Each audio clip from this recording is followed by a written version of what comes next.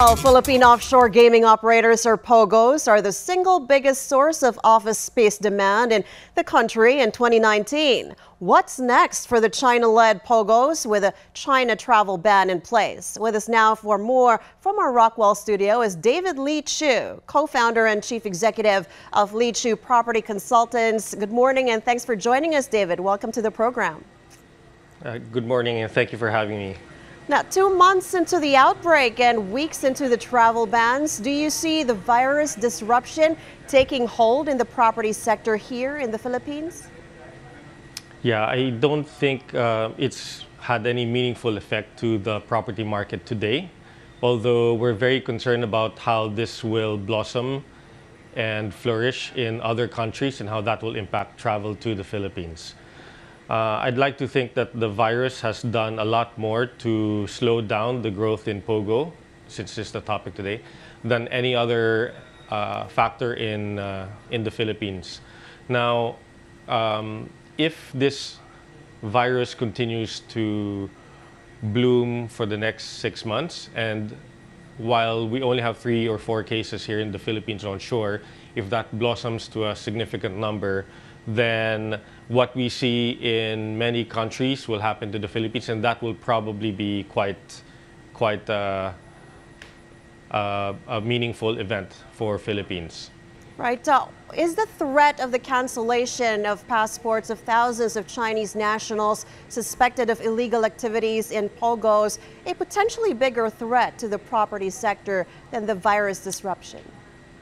I think I think not. The, the incidence of these passport cancellations are still fairly limited. It looks alarming because of the scale of these events, but in proportion to the amount of workers that are here, it's still very small. Uh, the travel ban is probably the ones that are right now restraining the POGO sector from growing.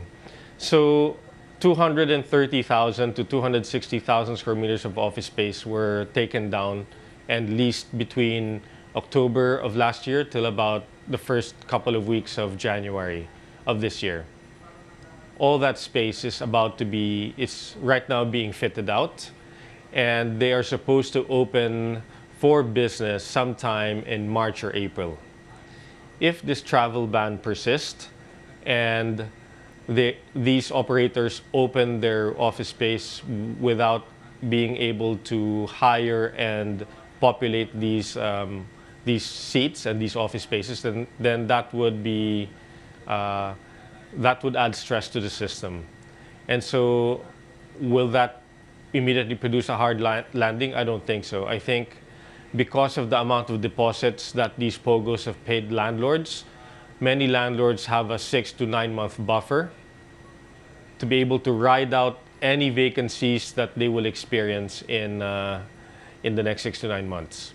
Right. Uh, and at that time, mm -hmm. and at that time, towards August of this year, so six months from now will be August of this year, that's when the BPO sector takes up the most amount of space from August to December. And I think the BPO sector will start picking up significantly towards the year end and make up for the shortfall that POGO will leave behind.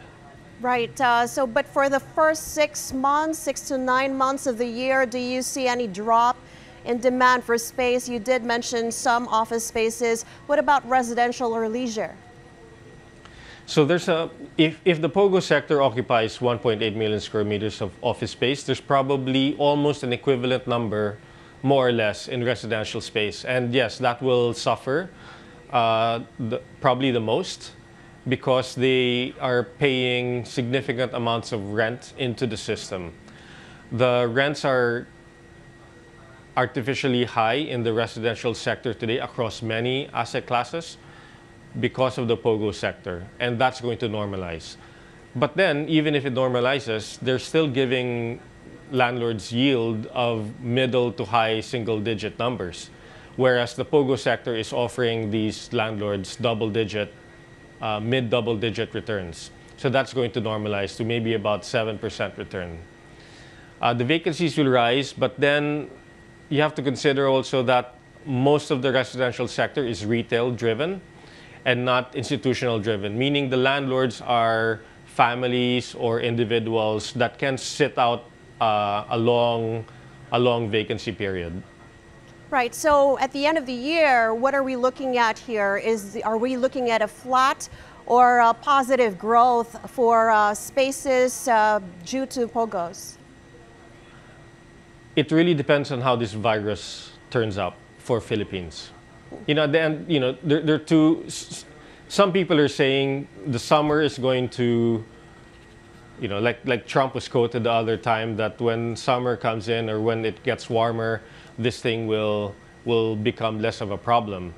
I don't know if that's the case, but if it is the case, then we think that it's it's you know we're going to have a short dip in the in rents because of the absence of pogo, but the but it will have a very strong bounce back towards the year end.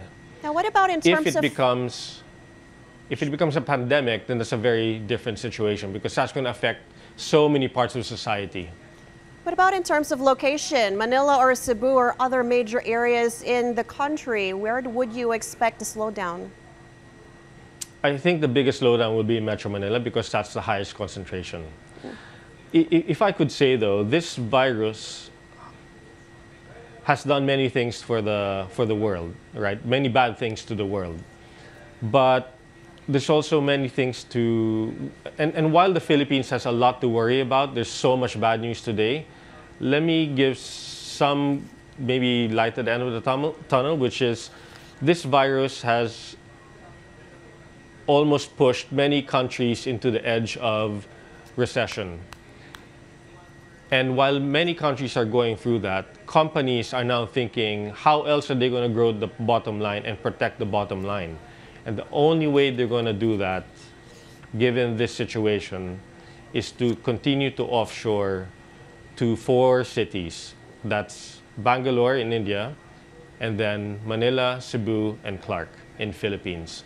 And so I think while we see a softening of the POGO demand across the country because of different reasons, several reasons, the BPO sector is going to rapidly ramp up uh, sometime in the second half of this year because of all the problems that the West is going through because of this virus. Right. Uh, well, we also hear reports that, uh, you know, Carlo Nograles, for example, cabinet secretary, is seeing some remittances to slow down by 0.8% because of the virus disruption. But some analysts don't see the virus disruption lingering for the remainder of the year. Do you see any factors in the property sector that might pick up the slack from the outbreak, apart from the BPO uh, industry growth? What about the REIT market or perhaps the lower interest rate environment? What are the other opportunities for growth in property? Yeah, I think this virus and the way it's impacted stock markets around the world has has dramatically impacted sentiment.